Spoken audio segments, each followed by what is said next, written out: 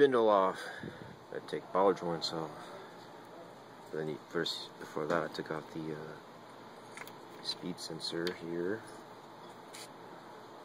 Speed sensor tells your ABS what's going on. This is a magnetic piece here. It uses fluctuations in uh, electronegativity. Show you it's magnetic.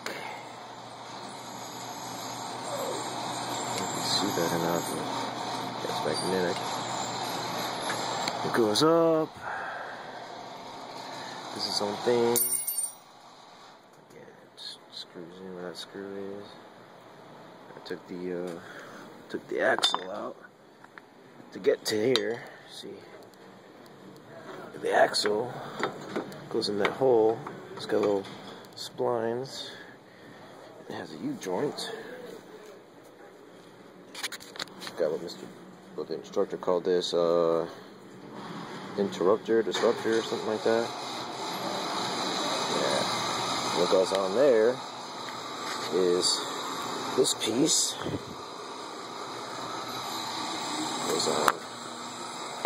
so, and that has washer.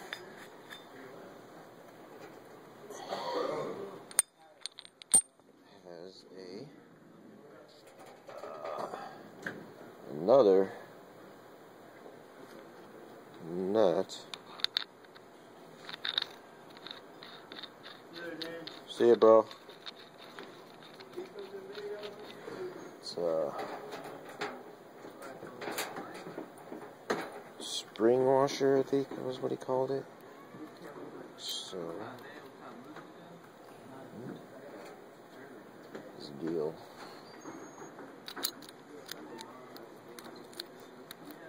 Yeah. Was it the other way? No, there's nothing there, so. And then you put your, your pin. So the camera sucks. This hole. The hole in, in the, uh, I think it's a stud, that's what you call it. Keep everything organized. Won't lose nothing.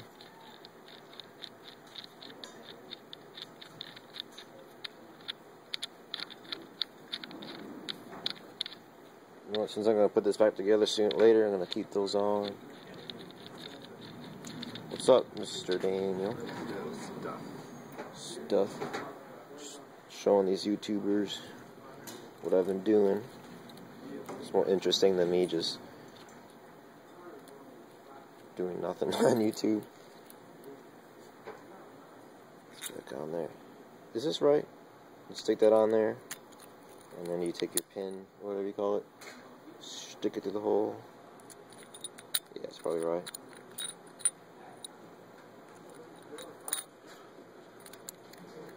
Yeah, that would be of great assistance.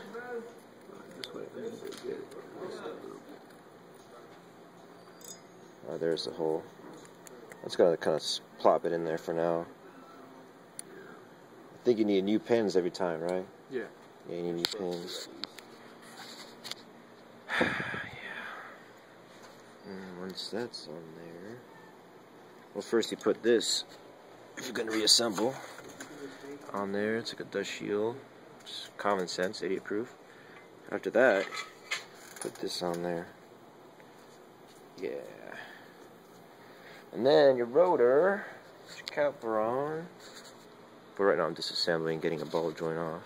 First time, bro. Never done it before. Freaking hungry, dude.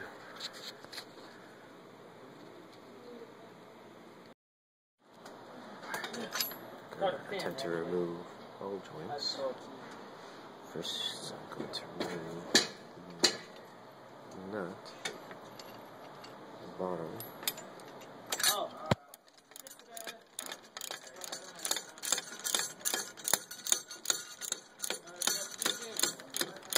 What? have to do. Cut the bottom of the cotter key off. Uh, hmm.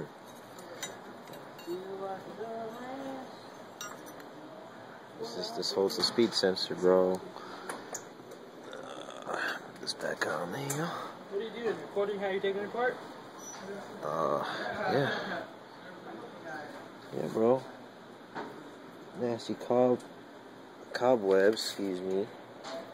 Cobwebs.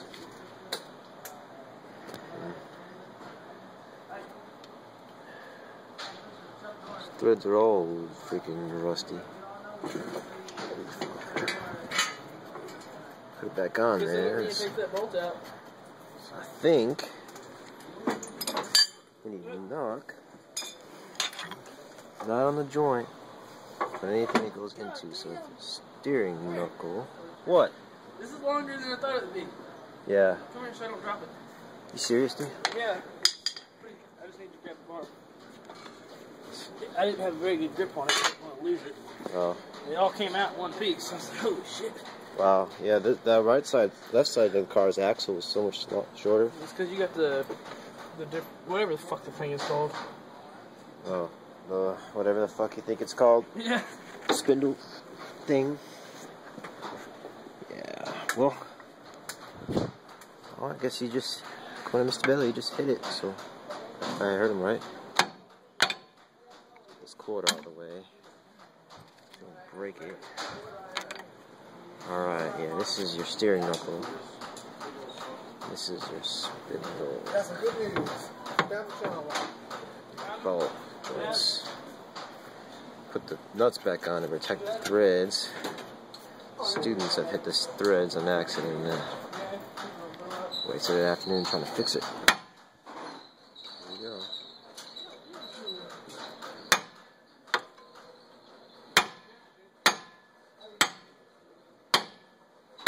Oh, I'm being careful. I really don't want to hit this on accident or something. I don't know. There's gotta be something wrong. I'm gonna get the instructor because this doesn't seem right. You sure you don't want to be on world famous videos, Mr. Bailey? You sure? Oh, okay. Well, this is the spindle. I got it off. I was right. You do hammer it there. There's your ball joint. And this thing kind of just bottom one. Make a view to spindle, kind of just put it on the hole, and the top one goes on top. It's pretty simple. If you can't figure it out, don't become a mechanic. Yeah, set that aside. Alright. See, it's flexible. As your steering and suspension movements. Now, next oh, step, I think he wants us to remove the ball joints. Educational for you and me. Hey, brake caliper. Alright.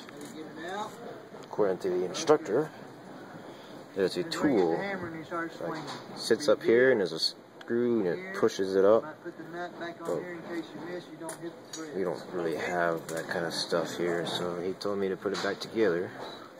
So I guess we'll do that together. Yeah, you want to be here. and here, and once it pops loose, just Well, unfortunately, I ran out of class time to show you the rest. But uh, I hope that what I've shown you is educational and helps you understand how to remove the spindle. Thank you for watching and have a great day. Work safe.